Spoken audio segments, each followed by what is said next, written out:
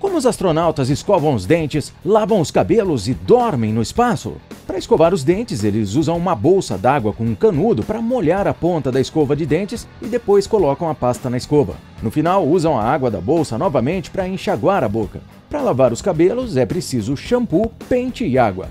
No vídeo, a astronauta espalha a água da raiz para as pontas dos cabelos com a ajuda das mãos, assim como o shampoo. Para completar a limpeza, ela esfrega os cabelos com a toalha e depois as enxágua distribuindo a água pelos fios com a ajuda de um pente. Para dormir, existem estações de sono para cada astronauta dentro da Estação Espacial Internacional. E dentro delas tem um saco de dormir, que fica em pé. Não parece, mas segundo essa astronauta é bem confortável, já que graças à gravidade zero, o corpo fica completamente solto.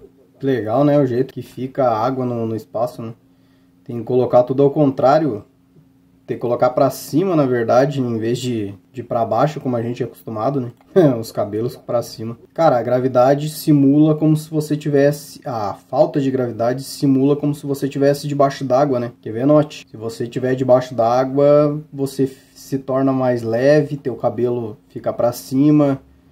Uh, tudo que você largar sobe.